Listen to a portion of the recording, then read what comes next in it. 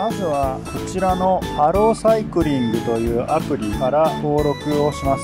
クレジットカードのナンバーや名前メールアドレスを登録するそうです。こちらを使って自転車を借りるそうです。ちょっとやってみましょう。最初にアプリで予約をしたら左上の黄色いボタンを押して電源を入れます。その後日本語と英語を選べるのでどちらを選んでもいいです。その後に暗証番号を4桁。入力します。そしたら自転車の鍵が外れます。こちらのモニターの電源一番右端のオレンジのボタンを押すと電気の電源が入って漕ぐのに楽になります。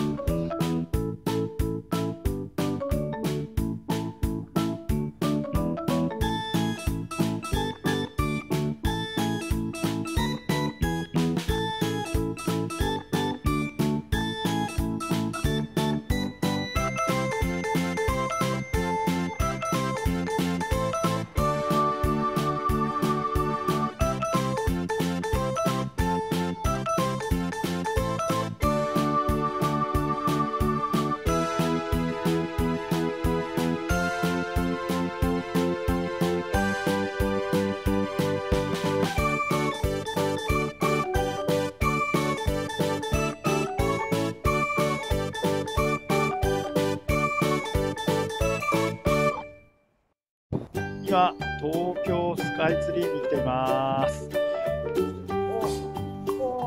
とても高いです。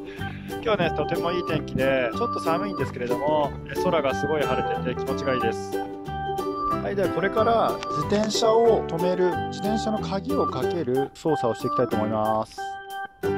まずは自転車の鍵をかけるときはここの後ろのタイヤのところにあるのオレンジのボタン。これを少し押してそうすると自転車の鍵がかかります。はい。これから鍵を開けたいと思います。まずは左上の黄色いボタンこちらをタッチすると自転車の番号が出ます。その後にレンタル中という言葉が出てこちらこの文字が出ます。会場と返却ですね。ここで、え、自分の暗証番号にタッチします。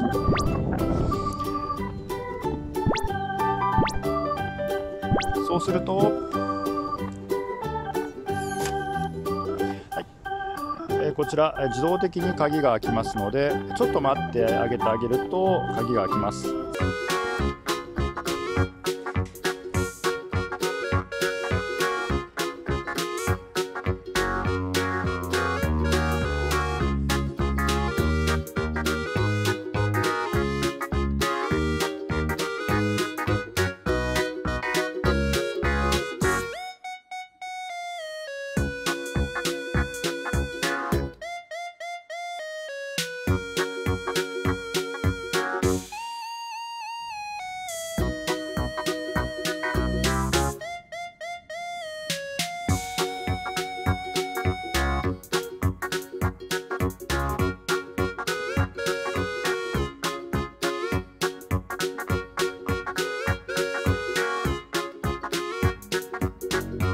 はい到着しました。ここが自転車を借りられる場所に戻ってきました。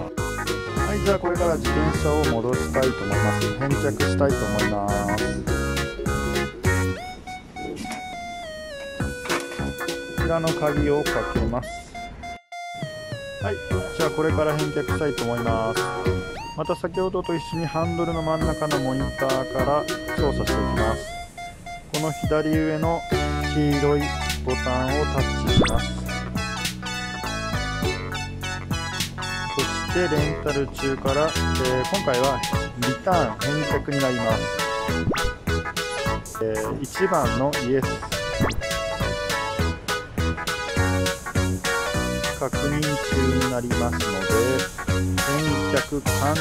はい。こちらで返却が終了しました。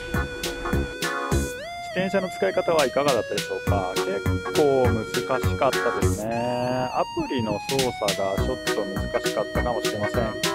でも自転車に乗って慣れてしまえば東京都内いろんなところにサイクリングすることができると思います。もしよかったら使ってみてください。ありがとうございました。じゃあねバイバーイ。チャオチャオ。